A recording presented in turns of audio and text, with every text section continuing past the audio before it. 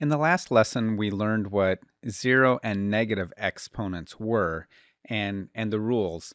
Um, and just a reminder, uh, a zero exponent just makes whatever it is equal to 1. So for example, 3 to the 0 power is going to equal 1.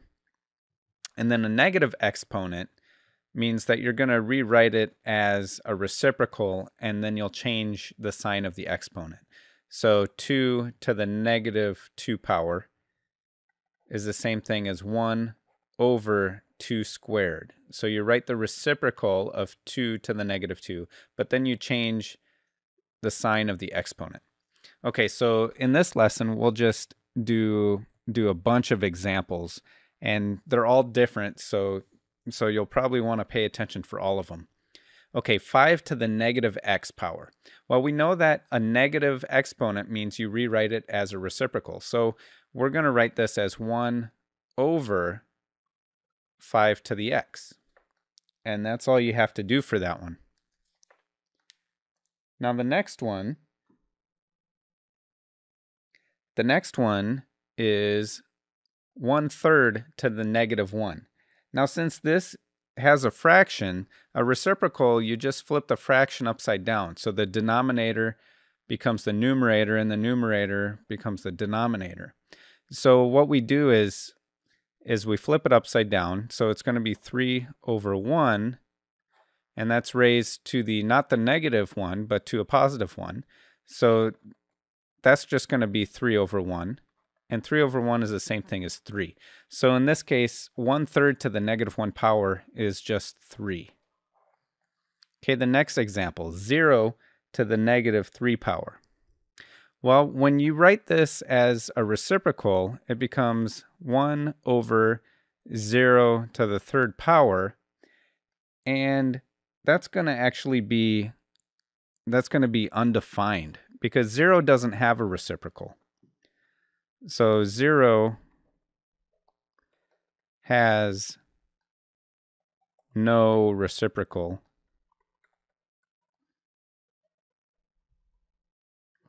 So it's undefined. Undefined. Okay, now 5 times 2 to the negative x. So we're going to rewrite that as 5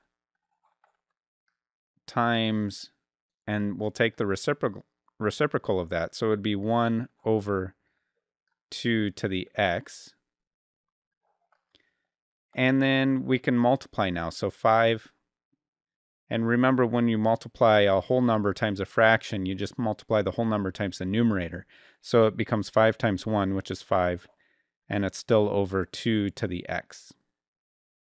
And that's your answer for that one. Now let's move on to the next example. And we have we have 2 times x to the negative 2 power times y to the negative 3 power. So we have 2 times, and I'll I'll just write write them with the reciprocals in. So 1 over x squared times 1 over y cubed. And that's going to equal 2 times, well, 1 times 1 is 1. Remember, when you multiply fractions, you just multiply straight across the numerator times the numerator and the denominator times the denominator. So you have 1 times 1, which is 1, and then you have x squared times y cubed.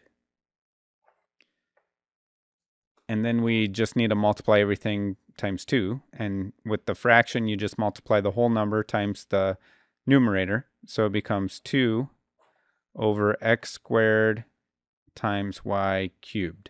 And that's our answer. Okay, this next example 3 to the negative 2 power times 3 squared. Now there's two different ways we can do this.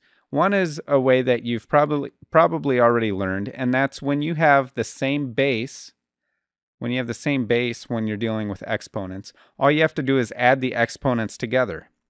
So you can do 3 and a negative 2 plus 2 which is going to cancel out and equal 0. So you have 3 to the 0 power. And anything raised to the 0 power is 1.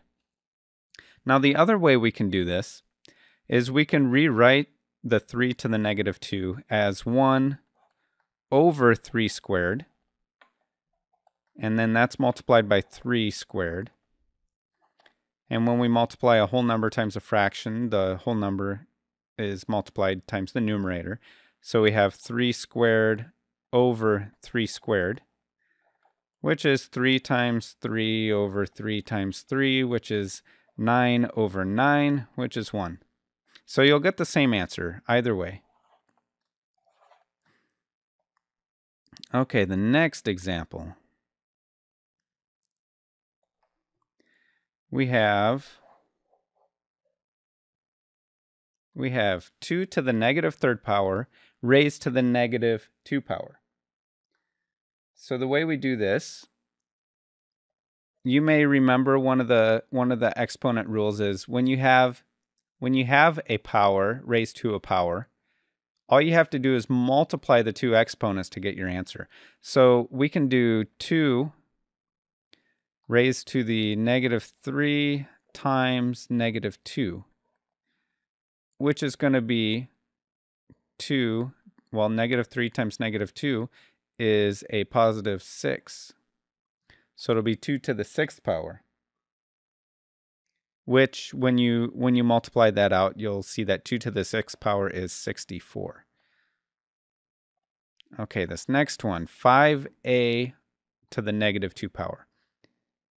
Okay, we're going to write the reciprocal. So 1 over 5a squared, which is the same thing as 1 over 5 squared times a squared. And I'm going to draw the rest of it down here. So you have 1 over, well, 5 squared is 25. And then you still have the a squared. So it's 1 over 25 a squared. And that's our answer. Okay, the last last example is 1 over, and let me draw a line just to separate it. We have 1 over d to the negative 3n. Okay, 1 over d to the negative 3n. And we can write that, well, we can write the, we can write this whole thing as a reciprocal, which would be d to the negative 3n. And it's over 1, but I don't have to write the over 1. Raised to the negative 1. So in this one, we're actually going backwards compared to how we've been going. So we'll write the reciprocal of this. So you flip it upside down and you change the sign of the exponent. And the exponent right now is 1, so you change it to a negative 1. So instead of writing it over over 1, we don't need to write the over 1 because anything over 1 is just the same thing as the numerator. And then we'll raise it to the negative 1 power. And the reason why we're doing that is so that we can use the power of the power rule, which says that you all you have to do is multiply the two exponents. So now we have d to the negative 3n times negative 1, which is going to equal d, well, negative 1 times negative 3n is going to be a positive 3n. So d to the positive 3n. And that's going to be your answer.